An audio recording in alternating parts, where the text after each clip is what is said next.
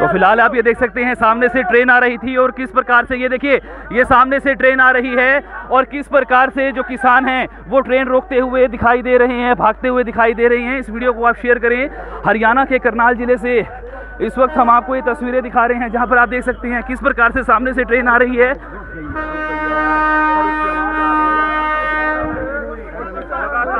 और ये देखिए किस प्रकार से और ये देखिए किस प्रकार से और ये देखिए, ये ट्रेन है। ये देख सकते हैं, सामने से ट्रेन आ रही थी, सामने से ट्रेन आ रही थी और किस प्रकार से जो किसान है वो यहाँ पर बैठ गए और ट्रेन को यहाँ पर रोक दिया, जी हाँ ट्रेन को यहाँ पर रोक दिया। और ये देखिए, आपको ट्रेन दिखाना चाहेंगे। ये देखिए ये ट्रेन यहाँ आ रही थी और किस प्रकार से अचानक से जो किसान है वो भागे और इस ट्रैक पर आगे, ये आप देख सकते हैं, इस ट्रैक पर जो किसान है वो फ़िलहाल यहाँ पर बैठ चुके हैं। तो इस वीडियो को आप शेयर अवश्य करें। हरियाणा के करनाल ज़िले से ये तस्वीरें हम आपको दिखा रहे हैं, जहाँ पर किस प्रकार से ये देखिए, सामने ट्रेन जो है अभी भी रास्ता मांगती हुई ज़रूर दिखाई दे रही है। ये देखिए, हॉर्न बजाए जा रहे हैं।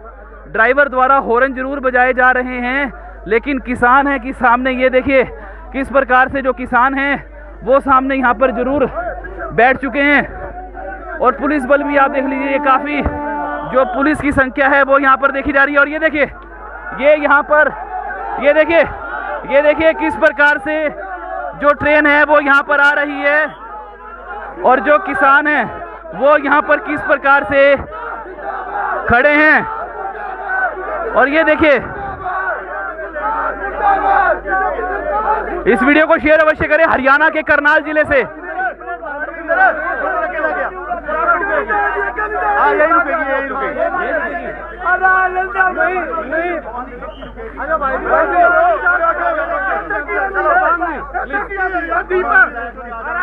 मैं आपको लिख के देना चाह रहा हूँ गाड़ी रुक जाएगी कोई बात थोड़ा सा आप आगे होइए आपसे आपसे अपील है उधर। गाड़ी गाड़ी यहाँ रुकेगी जी।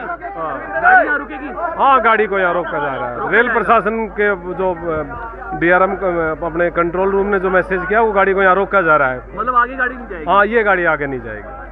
तो फ़िलहाल आप देख सकते हैं किसानों को जब पता कि ट्रेन पता चला कि जब ट्रेन यहाँ पर पहुँच रही है तो तुरंत जो किसान हैं किस प्रकार से रेलवे ट्रैक के ऊपर बैठ गए और अब ये आश्वासन प्रशासन द्वारा ज़रूर दिया जा रहा है कि इस गाड़ी को यहीं पर ही, यानी कि इसी पटरी पर, प्लेटफॉर्म नंबर तीन पर रोका जाएगा।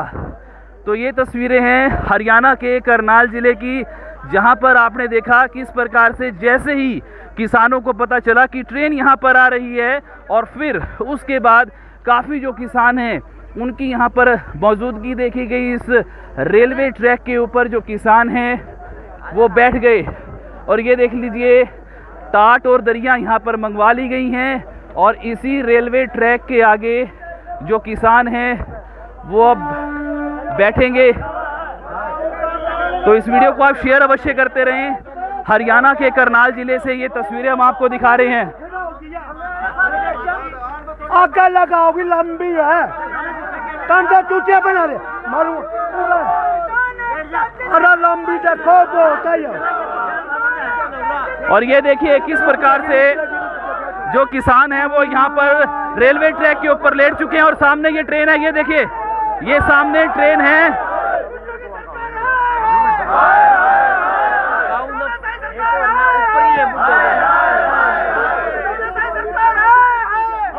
और ये देखिए, सामने ट्रेन है, सामने ट्रेन है और इस प्रकार से यहाँ पर जो है रेलवे ट्रैक के आगे।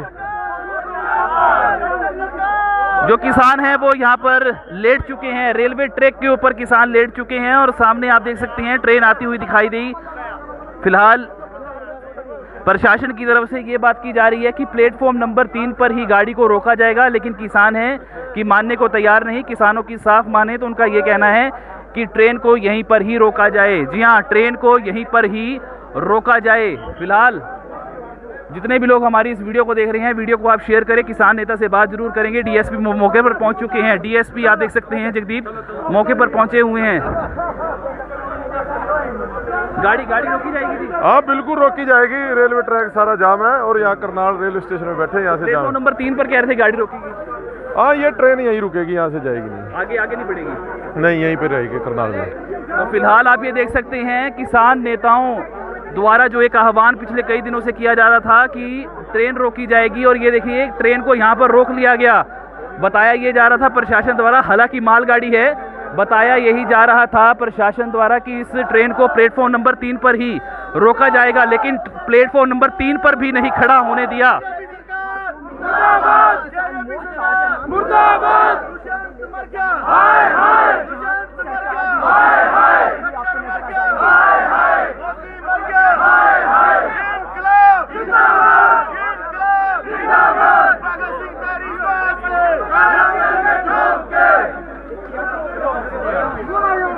Pedro,